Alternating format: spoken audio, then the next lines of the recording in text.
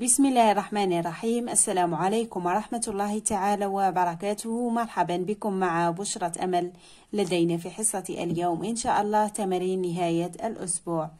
مادة الرياضيات اللغة العربية التربية العلمية. فيما يخص مادة الرياضيات لدينا تقويم في مادة الرياضيات النموذج الثاني. قدمت لكم في الأسبوع الماضي نعم النموذج الأول في هذه الحصة إن شاء الله النموذج الثاني. إذا دروس الأسبوع فيما يخص مادة الرياضيات. الدرس الأول علاقات حسابية بين الأعداد. رقم واحد. الدرس الثاني منتصف قطعة مستقيم. نبدأ بالتمرين الأول لدينا. أرسم قطعة مستقيمة A B طولها أربعة سنتيمتر. عين النقطة آم منتصف قطعة المستقيم A B. أولا نقوم برسم القطعة. نحضر ورقة. إذا لدينا طولها كم؟ أربعة سنتيمتر. إذا مسطرة أو مقلمة أو كوس شرط أن تكون مدرجة بسنتيمتر لدينا صفر واحد اثنان ثلاثة أربعة. إذا أضع المسطرة هكذا. نبدأ من صفر. نبدأ من صفر إلى أربعة. صفر لدينا هنا. نضغط على المسطرة جيدا. أرسم هكذا. كما قلنا سابقا القطعة تكون محدودة من الطرفين. أضع هكذا خط صغير وهنا. يعني تكون عندها قطعة مستقيم تكون عندها بداية وتكون عندها نهاية. لدينا A B. هذه كأول خطوة. ثانيا قال لنا عين النقطة M منتصف قطعة المستقيم A B. هنا طول القطعة ما هو أربعة سنتيمتر. نصف أربعة ما هو؟ إذا قال لنا عين المنتصف هنا نبحث عن نصف الطول هنا. نصف أربعة ما هو؟ أربعة أقسمه على اثنان لدينا اثنان اثنان. إذا مسطرة أيضا.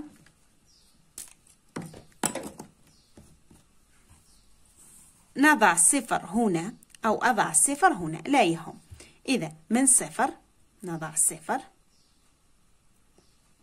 صفر واحد اثنان. عند اثنان هنا أقوم برسم نقطة. إذا هنا لدينا آم وهي المنتصف. ما معنى هذا الكلام؟ يعني لدينا هذا الطول يساوي هذا الطول. هذا الطول يساوي هذا الطول. إذا هذا فيما يخص التمرين. لدينا التمرين الثاني اربط بسهم. إذا لدينا بطاقات في الطرف الأول ولدينا في الطرف الثاني أيضا. خمسون في اثنان. ولدينا ثلاثمائة وستة عشر في اثنان ضعف ثلاثمائة وثمانية وعشرون. لدينا في الطرف الثاني ثلاثمائة وستة عشر زائد ثلاثمائة وستة عشر ثلاثمائة وثمانية وعشرون في اثنان ولدينا مئة. إذا خمسون في اثنان ماذا أقول؟ هي خمسون زائد خمسون ويساوي ماذا؟ ويساوي مئة. ثلاثمائة وستة عشر في اثنان. هل هي ثلاثمائة وستة عشر زائد ثلاثمائة وستة عشر أو ثلاثمائة وثمانية وعشرون في اثنان؟ وهي ثلاثمائة وستة عشر زائد ثلاثمائة وستة عشر. لدينا ضعف ثلاثمائة وثمانية وعشرون وهو ضعف أو وثمانية وعشرون في اثنان. كما تعلمنا في الدرس عندما أبحث عن ضعف مثلا عدد أضربه في اثنان. إذا ضعف ثلاثمائة وثمانية وعشرون أقول ثلاثمائة وثمانية وعشرون في اثنان ونقوم بكتابة النتيجة. لدينا التمرين الثالث أكمل ما يلي. نصف مئتان وستة وأربعون هو. هو ماذا؟ أضع عدد مناسب. نصف ثمانمائة وأربعون هو. خمسة وعشرون هو ربع ثلاثة وأربعون هو ربع. ما هو هذا العدد؟ نبدأ أولا بالعدد الأول. لدينا مئتان وستة وأربعون. أولا التلميذ يقوم بحفظ الأرقام الزوجية. صفر اثنان أربعة ستة ثمانية. إذا وجدنا عدد فيه هذه الأرقام مباشرة الطريقة التي أستعملها. نصف ستة نصف رقم الوحدات. ما هو؟ وهو ثلاثة. نصف أربعة وهو اثنان. نصف واحد وهو أو نصف اثنان وهو واحد. طبعا إن شاء الله في الأيام القليلة قبل الاختبار إن شاء الله راح نمد لكم طريقة كيفاش التلميذ آه، يجد نصف عدد إذا كان هنا مثلا الأرقام هنا رقم العشرات فردي أو رقم المئات فردي. مثلا ثلاثة أو أربعة.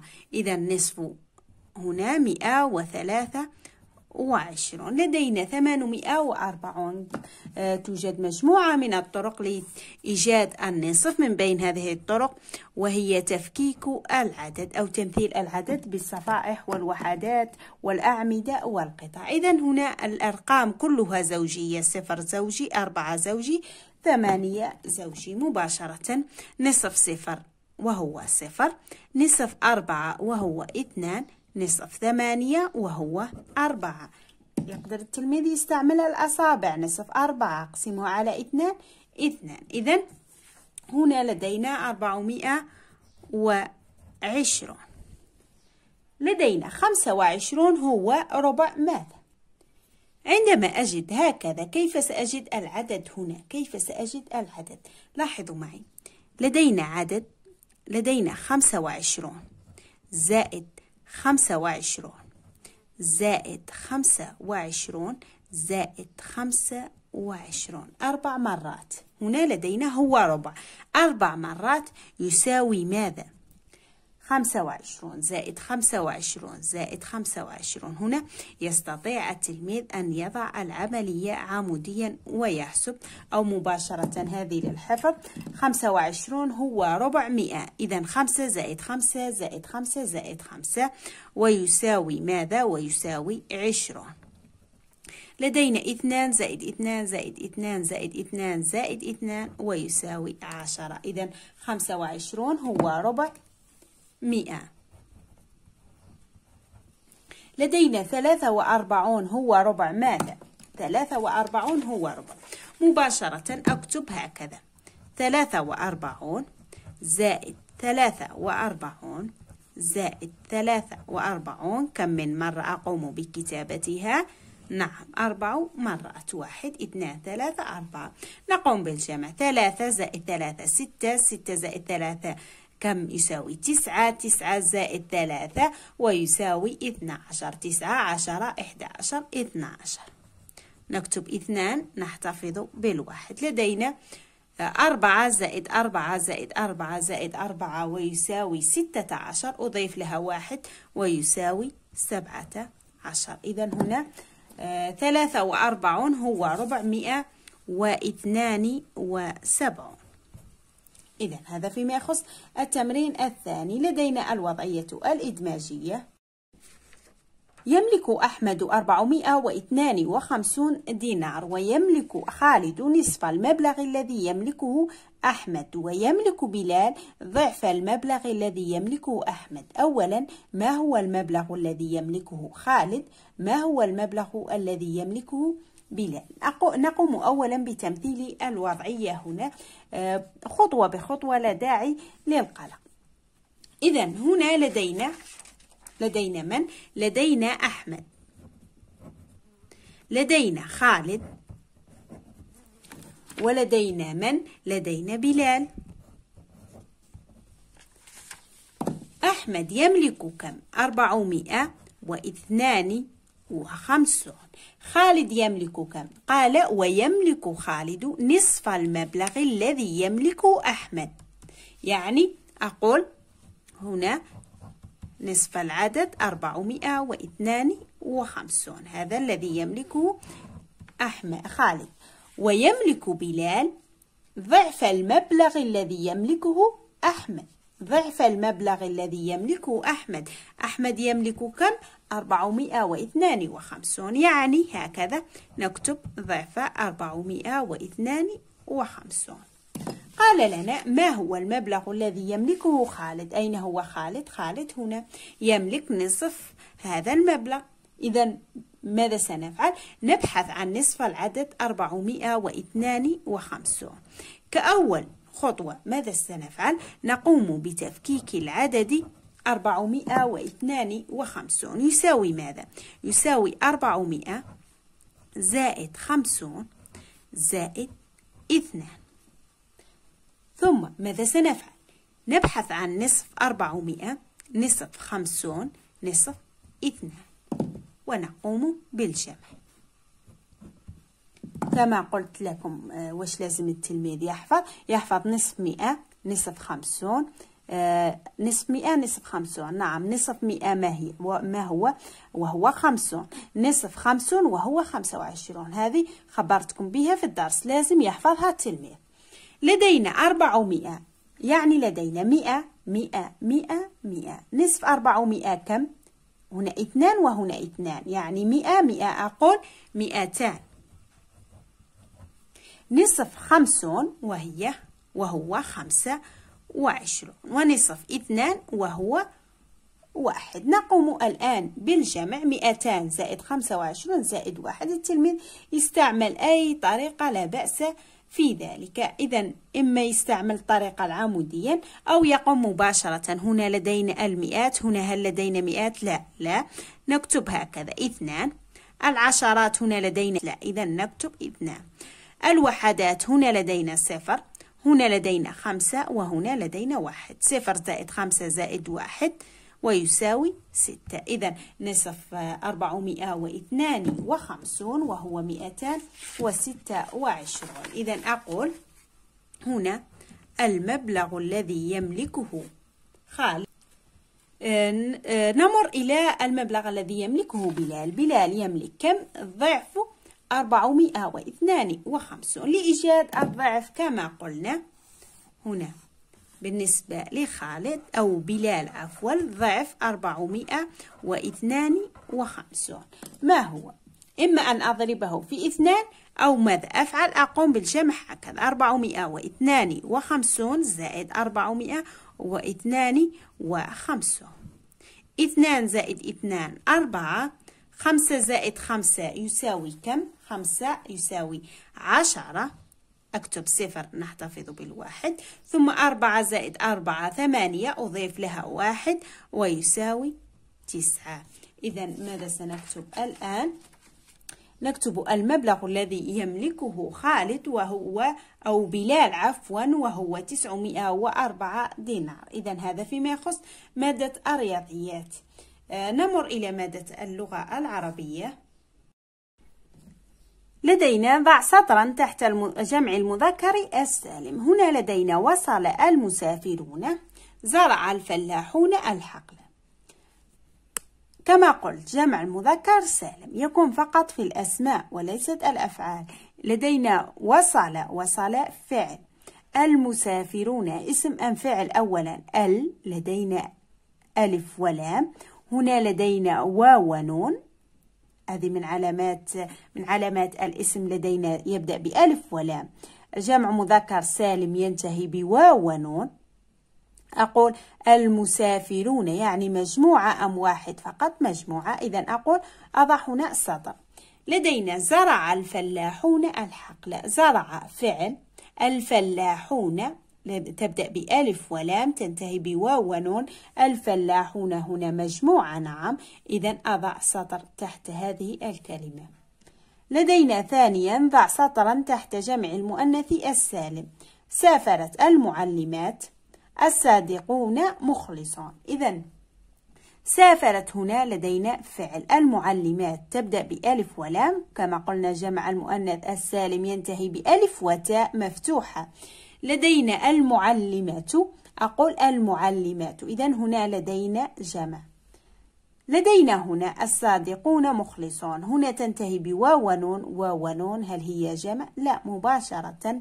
آه كما قلنا الجمع ينتهي بألف وتاء مفتوحة. هنا واو ونون. وهنا واو ونون. هل أضع سطر؟ لا. لدينا ثالثا نحول إلى الجمع. هنا لدينا مجموعة من الكلمات مطلوب مني. التحويل إلى الجمع. هنا لم يقل جمع مذكر سالم أو جمع مؤنث سالم. نتعرف أولا على الكلمات. لدينا نحلة محسنة. لدينا المسلم. نحلة مفرد هنا. نعم. مؤنث أم مذكر. تنتهي بتاء مربوطة. نعم. نتأكد أكثر. أقول هذه نحلة. جيد. إذا هنا أقوم بتحويلها إلى جمع المؤنث السالم. نعم أقول أقوم بتحويلها إلى جمع المؤنث السالم بما أن التلاميذ في السنة الثالثة درسوا فقط جمع مؤنث سالم جمع مذكر سالم. إذا هنا نحلة أقول نحلات أحذف التاء مربوطة أضيف ألف وتاء. لدينا محسنة هذه محسنة لدينا اسم مفرد مؤنث التحويل هنا أقول محسنات. لدينا المسلم هنا المسلم هنا مذكر أم مؤنث مذكر إذا أقوم بتحويله إلى جمع المؤنث المذكر السالم. لكن هل أضيف واو ونون أم ياء ونون؟